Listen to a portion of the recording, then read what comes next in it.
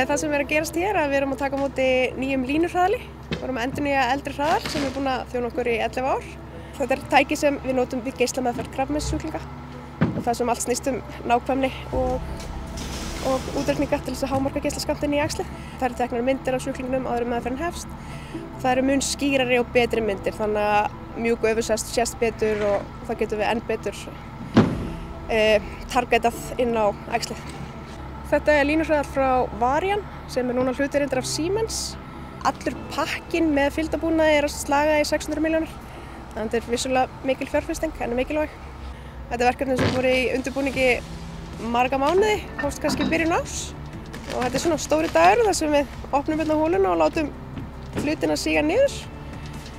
Uh, síðan tekur, á, tekur við núna bara mikil vinna, uh, installation eða uppsetting á hraðlinum, tekur cirka tvær vikur, síðan hefst mælivinna hjá eðlisvæðingum, deildrennar og vonin er að fyrsta sjúklingu verði meðhandlaður um meðan nógumir eftir þjálfun.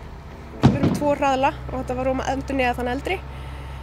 Uh, Svo sem verður þá núna eldri er frá 2017, þannig að innan fara ára fyrir við að neða hann líka.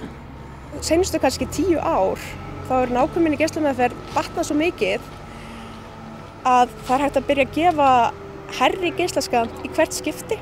Margir koma nokkuð oft og í gamla daga þegar nákvæmlega var minni þá þurftu þau að koma ansi oft af því það var ekki hægt að gefa jafn háan skant í hvert skipti bara út á aukaverkunum.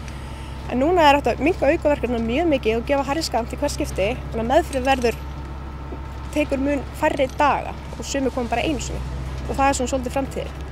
Við hérna erum þjóð sem erum að elda strækt og mikið að og allar krabbmeinsbár tala um hraða fjölgun krab, á krabbmeinstíðinni næstu árum. Þannig að við erum núna með tvo hraðla, við erum þegar að nýta þá að fullu þannig að það er svo sannlega komið tíma að tala um þriða hraðli.